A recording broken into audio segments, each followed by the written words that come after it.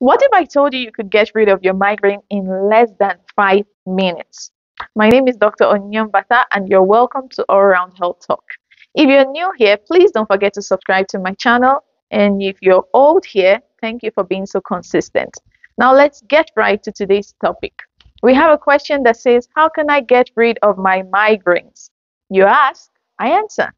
Migraines are very annoying, throbbing type of headaches that make you feel like somebody is pounding yam on your head. Now, migraines tend to come with backup singers like nausea, vomiting, and oversensitivity to light, sound, or strong odors. Now, there are a billion people on earth suffering from migraines, and migraines can usually start from puberty upwards. It's much more frequent in women than men, and this is due to hormonal changes that women experience most of the time. Now, what can trigger your migraine?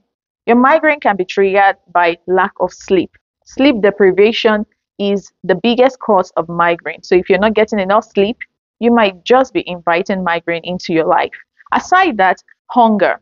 Staying a long time without eating or staying a long time fasting can also cause migraines. Stress. We cannot avoid stress, but we can control it. So, stress is another factor or trigger of migraines.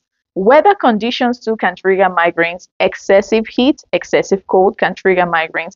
And sometimes migraines are actually hereditary. So if you have family members suffering from migraines, you can also suffer from migraines. Now, a lot of people think that migraines are just one sided headache, but migraines can actually affect both sides of your head.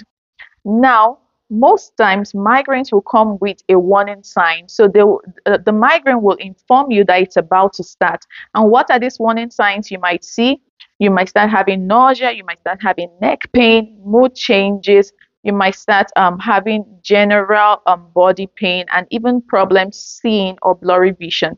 So when you have these signs it is a warning that your migraine is about to start. But i'm here to tell you how you can get rid of your migraine in less than five minutes. The first thing you should do is stop whatever you're doing, right? Now, if you were working, if you were writing, if you were reading, cooking, whatever you were doing that stimulated that migraine, stop and take a break, right? Give your body chance to recuperate. So the first thing you have to do is stop whatever you're doing. Number two, sleep. Most time your migraine is as a result of sleep deprivation. So take a nap try to sleep and help your brain recover. Number three, go into a dark room. Now, if you don't want to sleep, you can go into a dark room, quiet, dark room, and just lay on your bed and try to rest. Now, I'm begging you, don't take your phone or your laptop with you into that room. The idea is for your brain to rest and recover. So, go into a dark room, no noise, no distraction, no phones, nothing. Number four, use an ice pack and a hot pack. Now, the ice pack is for you to put on your forehead so that it can numb the pain. And the hot pack is for you to put on your neck to relax your muscles, right?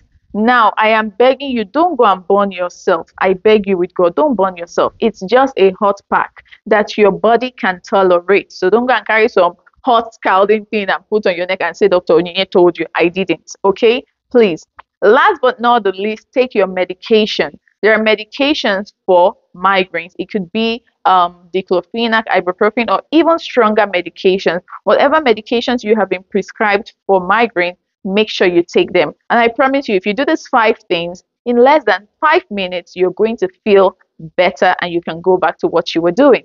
I hope this video has been really helpful to you. So now you know what to do. Subscribe to this channel so that you can get more amazing videos.